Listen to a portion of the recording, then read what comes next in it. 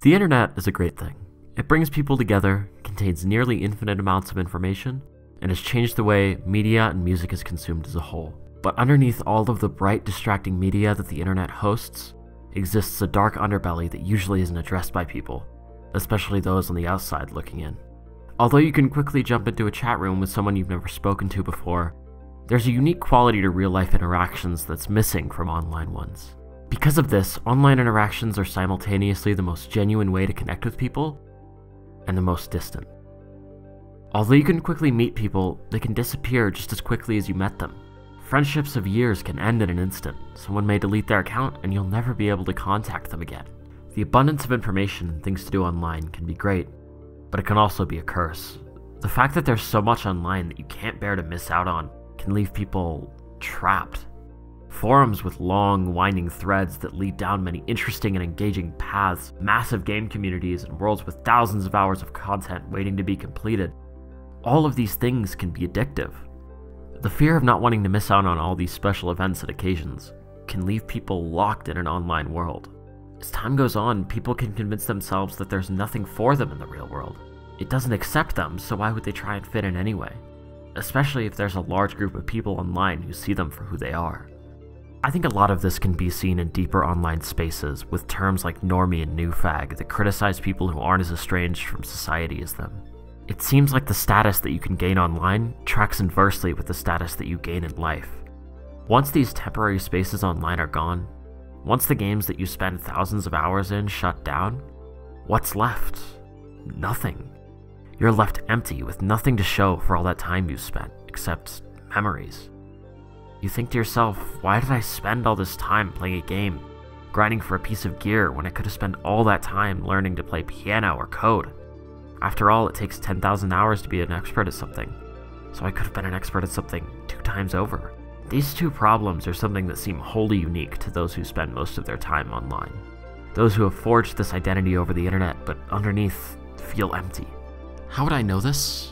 Because I'm one of them. Over 2,500 hours clocked in a single MMO, almost 9,000 hours on Steam, over 1,000 hours spent on League. I'm kind of ashamed of how much time I've spent on all these. While I was at my peak of playtime, I was clocking over 100 hours a week. I had terrible grades, an empty social life outside of gaming, and was never able to finish a short film or any creative project, despite truly wanting to be creative. I don't regret the time I've spent online, the knowledge I've gained. It's made me unique, it's made me myself. I've forged many memories and friendships that I'll never forget, but something tells me I should have stopped playing while they were still fun. Because there were so many nights where gaming stopped being fun, but I still kept playing.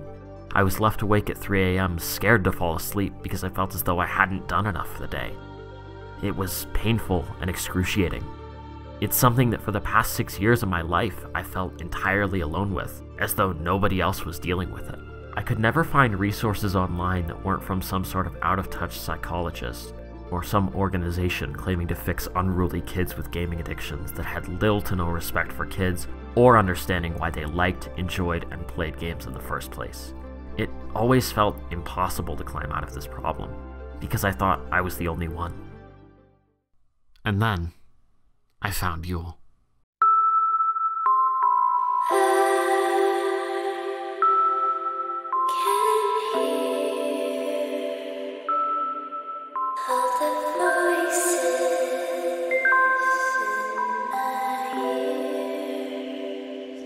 Her music was so unique because she was someone who expressed herself through the lens of the internet, using a mix of twinkling, sparkling melodies, long, loud, and almost overwhelming synths, and the sad yet calming voice that conveyed a bitter sweetness that was hard to describe. It was something that actually made me feel heard for once, as though someone actually got it.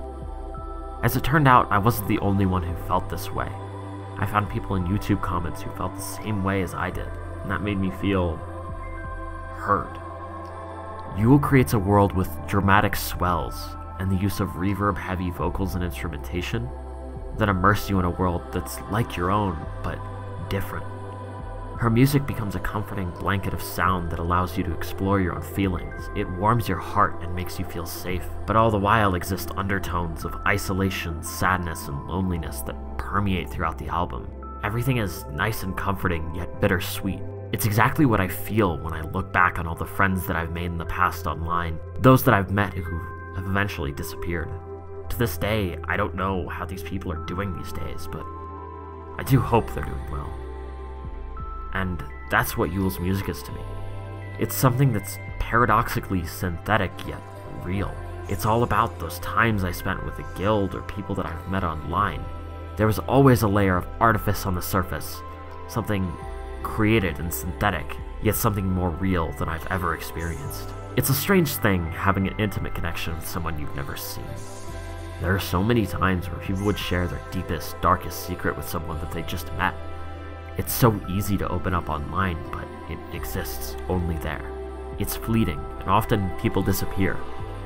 Dream pop as a genre is already relatively introspective. It's something that's made to be listened to when nobody else is awake, when your brain is most active and most critical, tangled in its own thoughts. While a lot of dream pop seems to be made for lounging in your bedroom, forgetting the world, Yeule is made for sitting at your computer during dark hours when nobody else is awake, when you're entirely alone with nobody to talk to. Those people online, they're cool, they're fun, but they're not always going to be there. Any day they could disappear. However, Yeule's music will always be there to bring you down to earth by taking you somewhere else. It's almost like exiting a panic attack where everything seems more calm than it started. Issues are difficult, but they don't feel as insurmountable as they once were. In addition to this, a lot of her music is linked to video games and other online things. Not through any sort of explicit sampling in music, but more in terms of influences. In interviews, Yeule has admitted that a lot of her influences stem from games like Final Fantasy and other RPGs, where you can be lost in worlds and spend hours on end occupying something that is fully crafted and created, yet lonely. This is a world that is occupied by you and you alone. Even her name comes from the Final Fantasy XIII 2 character, Yeul.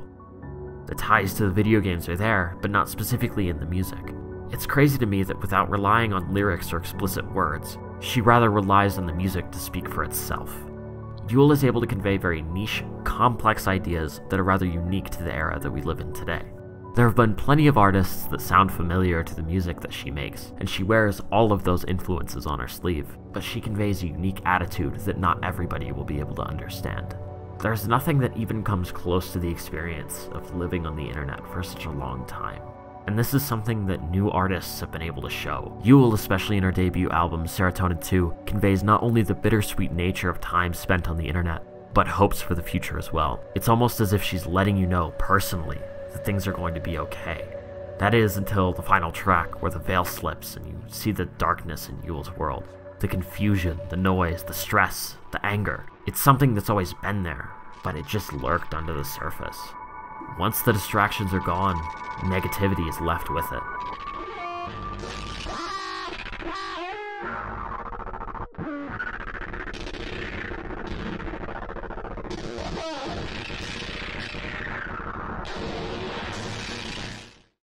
And although Yeule gives us a peek into how those emotions play out, Sewerslvt lets us be consumed and taken in by it.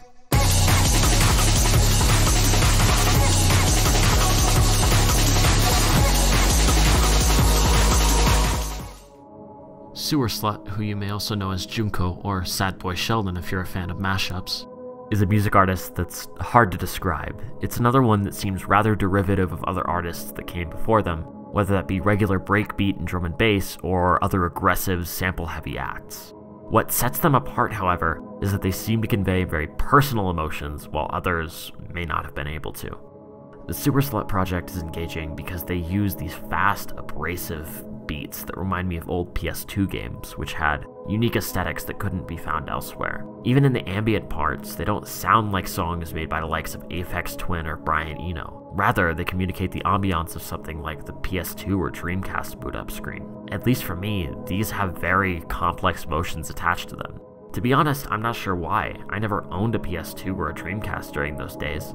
I only had Nintendo consoles growing up, but these sounds are familiar. It's depressing and nostalgic at the same time, which is unique to this project. Although I was born in 2001, all of these aesthetics from this era are things that have sunk into my brain. It's a specific sound that has been relegated to exclusively that point in time. never to be heard from again, which is why finding this album in particular was such a shock to me. Sewerslvt, however, doesn't just take from the old, they blend in their own contemporary bassy elements with it as well. Throughout all of their projects, they maintain one core part of their aesthetic. Through the use of compressed drum sounds especially, they keep you grounded firmly in the early 2000s, where this was most popular. It is still strange to me that this is nostalgic because I was never really part of life in the early 2000s. When I grew up, though, I was surrounded by the aesthetic, whether that be through used GameCubes, PS1s, or Dreamcasts, or even strange advertisements, movies, and music I was exposed to during the time. However, the music isn't nostalgic in any sort of concrete terms, rather in this hazy, hard to place kind of way. Honestly, I may never know for sure why I've heard sounds like this over and over again, but it's unmistakable. Although nostalgia is an important part of the music, the other equally important thing is the way that Sewerslvt conveys depression, loneliness, and angst and confusion through their music. Instead of just paying lip service to these themes and concepts sonically, they use noise to immerse you in it. When it's 3 a.m. and you're alone with nobody else to talk to, no friends, no significant others, no family, you're left with nothing but your thoughts, which can be scary. It can be terrifying. At these late times at night on your computer, you're left to stew on all the complex feelings you may have been repressing for a large part of your life, whether that be through video games or other forms of entertainment. When it happens, at least for me, it feels like walls are closing in around you, and the insecurities that you have felt your whole life feel more intense than ever. And that's what existing solely online can feel like. Another theme that this artist explores that so few other artists dare to explore is the concept of sexual frustration. In album art as well as social media, Sewerslvt shows pictures that are just scuffed screen grabs from hentai and other exclusively online expressions of sexuality. Through this, they accentuate themes of isolation and loneliness. Essentially, they use this hypersexual, over the top imagery to show how artificial and superficial it all is. In these portrayals, it's not cool, it's not fun, it's not satisfying. It's just sad. In short, Sewerslvt is a project is an exploration and expression of what it's like to feel disenfranchised and alone. Existing exclusively online as someone who doesn't know what their future will hold, if anything at all. Although it may be depressing for some, it makes me hopeful knowing that I'm not the only one who feels this way. Maybe, however, I'm just projecting. Maybe none of this is actually part of the intent of the artists, but it seems that many people have run away with the exact same interpretations I have, and have used this music to get themselves through times where it feels like this, where you're entirely alone and feel as though there's nothing for you except the internet. And that's the beauty of this new generation of musicians that has sprung up over the past few years. A couple years ago, there were things that more established artists just would have never been able to understand. But now, people like me on the internet have people to relate to, and I think that's something very special and very important.